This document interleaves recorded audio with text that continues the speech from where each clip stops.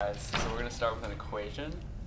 Um, 2 plus 3, x plus y equals 0. And then we're going to try and get y alone. Uh, that was a pretty bad y. Um, we're going to try and get y alone.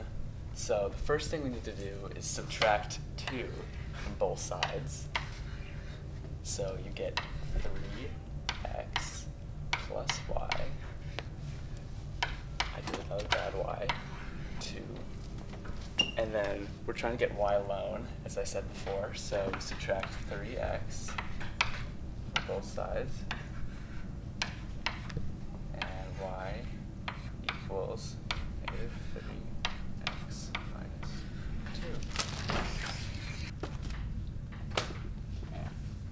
Yeah. Can I go to the bathroom? Yeah, sure, be quick. Thank you.